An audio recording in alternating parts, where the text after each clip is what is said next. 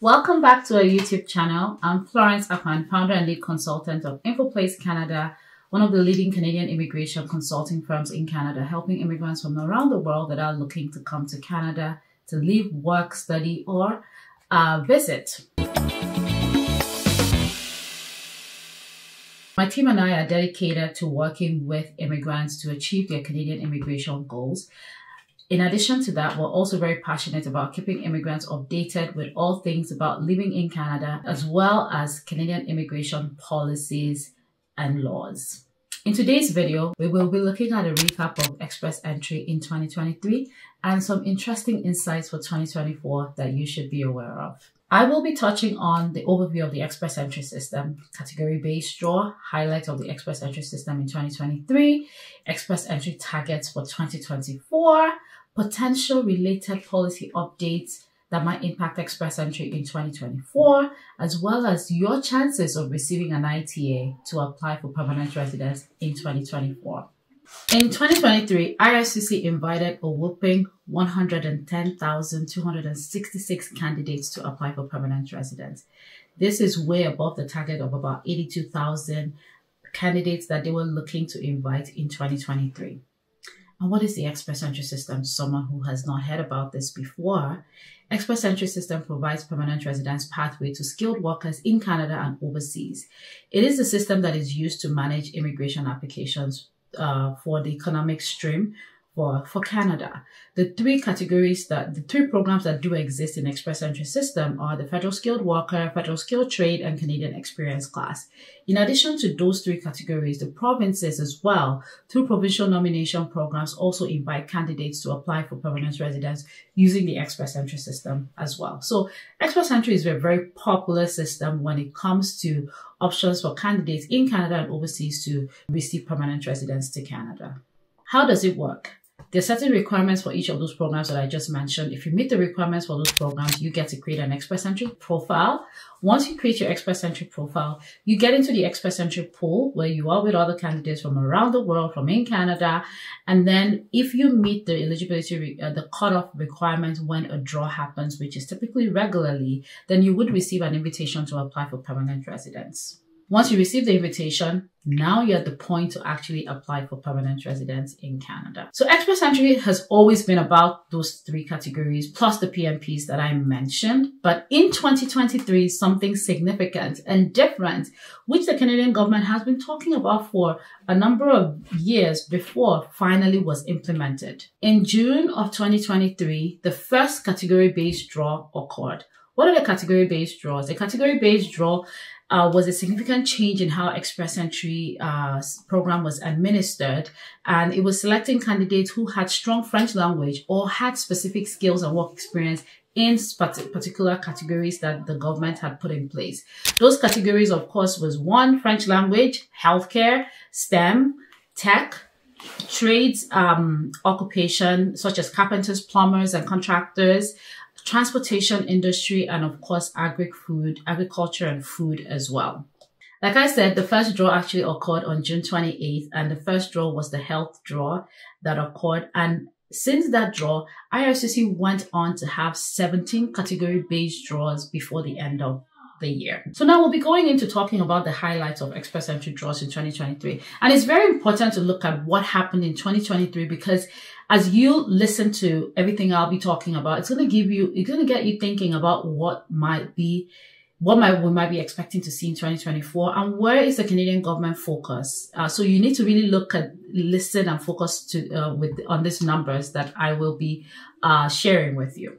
So in 2023, there were 42 express entry draws. Out of the 42 express entry draws, 19 of them were all program draws. So it wasn't specific like FSW or Federal Skill Trade or Canadian Experience class. It was just all, anybody who qualified to have an express entry profile and met the cutoff received an invitation in those draws that I mentioned. In addition to the 19 all programs draw, they also had 17 category based draws. Remember I said the category based draws was introduced just in uh, June. That's when it started. But by the end of the year, there was 17, which was almost the same number as the all programs draw. In addition to that, there were five PNP draws. So those are provincial programs. We talked about it. So the provincial programs draws also happened in 2023 and there was only one FSW draw. So there was one FSW draw and as you can see on the table that uh, is on the screen right now, you can see that the cutoff varied based on the draws in each of these categories. And you can see that agri food actually had the lowest cutoff at 354. There were two draws in agri food. In the category based draws that occurred, there were actually six draws for French language. And the cutoff for the French language draws were at, got, went as low as 375. So this is all really important information to look at and analyze and see what the government is actually doing. Where the, where's the focus? Despite the increase in the category-based draws, the highest number of candidates that still received invitations to apply for permanent residence was actually through the all programs draw. So about 76,000 candidates were actually invited through the all programs draws and the rest were through this category based and specific draws and things like that. So very important information to see what the change was, how much was done in just half a year with category based draws versus all program draws and things like that. So now that you've seen the numbers, leave them in the comment section what you think. How do you feel about how the express entry draws actually went in 2023? Did you receive an ITA? Were you close to receiving an ITA? Were you disappointed with the draws? Let's chat in the comment section. I want to know how you feel. But we're going to start looking at 2024. In 2024, let's look at the targets first. The targets for express uh, for permanent residents as a whole in 2024 is 485,000 permanent residents in 2024, 500,000 in 2025 and 2026. That's what the government has proposed and has announced and published. Um, their plan is really to balance labor force needs while supporting existing population growth and things like that. So express entry is going to still exist in 2024. It, uh, there's still going to be a target to invite um, a significant number of applicants as well in 2024. With an overall target of 485,000, 110,000, uh, over 110,000 spots has been designated for express entry candidates. Um, in 2024. So there is a lot of room for you to have a chance to become permanent residents in 2024. So yes, we know the entry rules. We know the entry policies. Uh, we've seen what happened in 2023, but what are we anticipating in 2024? One of the first things that I want to share with you is that the category that IRCC identified for 2024 has a high potential of being changed and being updated in 2024 based on the labor needs and the demand and the review that IRCC conducts with stakeholders such as provinces, um, uh, territories and settlement agencies and organizations in the country to see what the labor needs are, the integration of new commerce into the system and the labor force as well. So if there's anything, the categories that do exist right now may not be the same in 2024. However, it would only change when those announcements happen. For now, we know those categories exist and those candidates may still have the opportunity to receive invitation if they meet the cutoff to apply for permanent residence. We're also anticipating, uh, based on the levels target that IRCC has published, that provincial programs is, uh, will be making up the largest number of candidates that get to permanent residence in 2024. So if you're sitting there and you don't know what your options are provincially, uh, you've only focused on express entry, it might be time to start exploring provincial programs to see exactly what your options are and be very strategic about exploring those and meeting the requirements for those in order to maximize and open up more options for you to get to permanent residence in 2024. So now that we've talked about all of this and look, now we've seen 2023, what happened. We've seen how things went. Uh, we've seen what the draws were, the number of people that were invited, the cutoffs and everything. What if someone were to ask me who has a high chance, just looking generally at things that have happened in 2023, who has a high chance of receiving an invitation on in 2024? Here are some key things that I would say. The first group of people that would have a high chance of receiving an ITA in 2024 would be candidates who have French language abilities. And the reason why I'm saying this is because Canada is looking to bulk up its Francophone cultural identity due to the decrease in the percentage of Francophones outside of Quebec. The slow growth of bilingualism rate of English speaking Canadians outside of Quebec. So 2023 saw the introduction of the new requirements for policies on Francophone immigration through the modernization of Canada's Official Language Act. This is what gave rise to the language proficiency category-based selection rounds. And if you look at the draws that happened in 2023, you would see that the French language draws had the most numbers of uh, rounds of invitation. There were six while all other categories had just two rounds of invitation. So if Canada is still looking to push that number out and meet its targets with the French language speakers in Canada, candidates who speak French will have a high chance of receiving ITAs in 2024. In addition, the French proficiency candidates, the, that category actually had one of the lowest cutoffs as well in the three, uh, in the 300. So it was about 375. So pretty low and really opens up opportunity for more people in that category. Now, the second set of people that have a chance of receiving um, an invitation, have a high chance of receiving an invitation to apply for permanent residence in 2024 would be applicants that have skills and experience in the categories that IRCC continues to identify as the categories that they want to prioritize for express entry.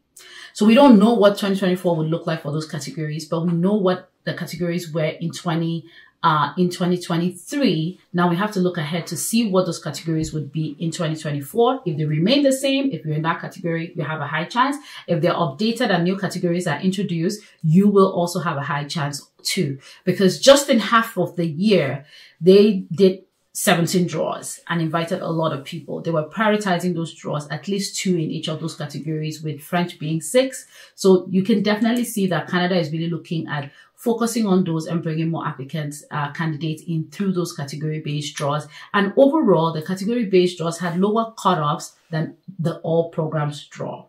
So we've talked about the top three. Now the last one that we're identifying that would have high chances of receiving ITAs in 2024 would be candidates with CRS scores in the 480s and above.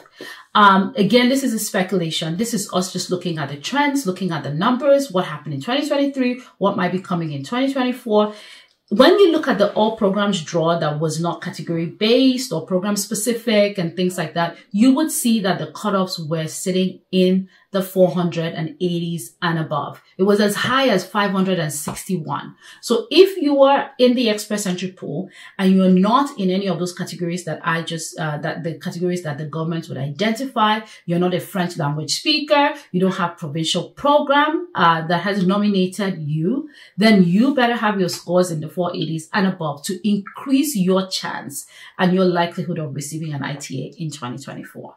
So there you have it. While you can see that there's going to be lots of opportunities to transit for our candidates out there in Canada and overseas to become permanent residents, it's not going to be an easy race. As of December 2023, there were over 200,000 people sitting in the express entry pool already. The competition is stiff. It is important that if you're looking to become permanent residents, you explore multiple routes and multiple pathways to ensure that you have the chance of achieving your goals of becoming Canadian permanent residents.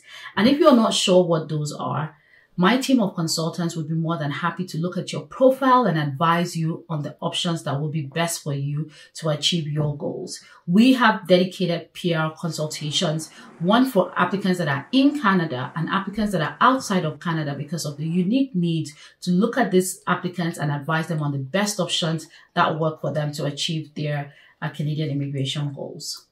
One of the things that remained shocking in 2023 that I forgot to mention was that there was no CEC draw, there was no federal skilled trade draw. Uh, we hope to we hope that those draws would come in 2024 to also create a balance because with Canadian Experience Class, those are temporary foreign workers in Canada, former international students who are looking for pathways to transition to permanent residence. Having those draws would be so beneficial. It would open up so much room and opportunity for them. And these international students that are already in Canada, most of them are already adding so much to the economy. Uh, the foreign workers here are already adding so much. Um, and it would make it easier and make it uh, a lot easier for employers to retain them as well and create more opportunity for applicants in Canada. So if there's anything that I'm looking forward to in 2024, it would be to see what the government has in place for international students uh, and temporary foreign workers who are already in Canada, postgraduate work permit holders and the likes who are already here, who've already added to the economy through their education, already added through their work on work permit, and now looking for the opportunity because they've come to love this great country and they want to stay. Would be nice to see what the government has in place because the express entry system alone, of course, is not getting everybody through, uh, but they, they would be a great pathway, which the government has kind of promised, but has not, is yet to deliver on it for these international students as well. So that's it.